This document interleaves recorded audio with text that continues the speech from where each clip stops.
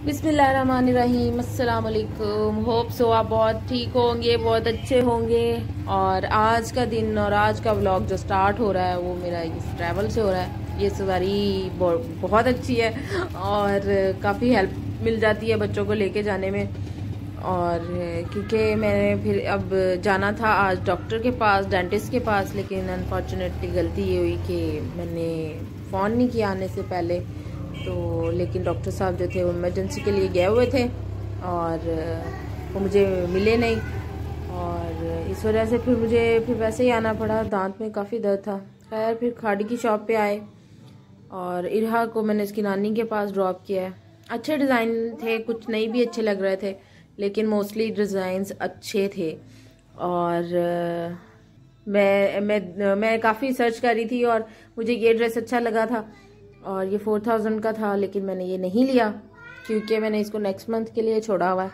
और इस वजह से खैर ब्लू मेरे पास पहले भी था, इस वजह से भी इसको स्किप कर दिया मैंने। तो उमर काफ़ी एक्साइटेड था, उसको अच्छी लग रही थी, यहाँ जो डमीज पड़ी हुई उनसे आंटियों से सलाम ले रहा था, खैर तो मैंने फिर और देखा, मैंने फिर अपनी सिस्टर से भी पूछा कि उसको कुछ चाहिए, उसको कुछ सूट पसंद थे ऑनलाइन देखे थे उसने तो फिर मैंने कहा, मैं आई हूँ स्टोर पे तो मैं क्यों ना ऑनलाइन शॉपिंग से अच्छा है कि यहाँ से ही लेके चली जाऊँ। तो क्योंकि ख़ासकर मैं यहाँ पे ज़्यादा जो स्टिच कलेक्शन है इनकी, वो देखने आई थी।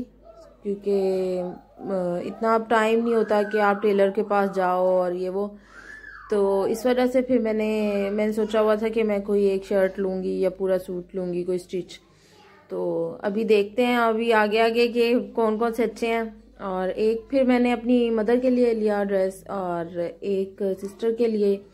और एक मैंने कुर्ता लिया अपने लिए स्टिच और एक सिस्टर ने भी वैसे सेम कुर्ता लिया तो अभी हम ईद पे उनको शायद इकट्ठा पहने दोनों। मोस्टली हम कपड़े एक जैसे ही बनाते हैं। तो अच्छे थे एम्ब्रॉयड्रेड भी थे और सिंपल प्लेन भी थे। और आप ज़रूर विज़िट करें। इसको ऑनलाइन तो इतना कुछ आपको नहीं मिलता लेकिन आप जब स्टोर पे जाते हैं तो काफ़ी अच्छा रहता है। खैर इसके बाद फिर हम लोग आ, मैं अपनी अम्मी के ऑफ़िस चली गई थी क्योंकि रहा थी वहाँ पे। फिर खाना कुछ हमने वहीं खा लिया था दोपहर में तो क्योंकि मेरे जो अम्मी हैं उनको अबू को भी ऑफ़ जो है वो तकरीबन चार बजे होता है शाम को। फिर हम उनके साथ ही गए और काफ़ी थके हुए थे।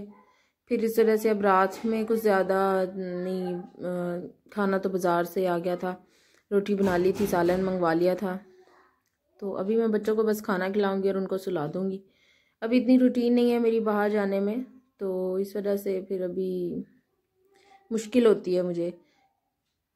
खैर बच्चों को अब मैंने सुला दिया आप मेरा चैनल ज़रूर सब्सक्राइब कीजिएगा। तब तक के लिए अल्लाह हाफिज़।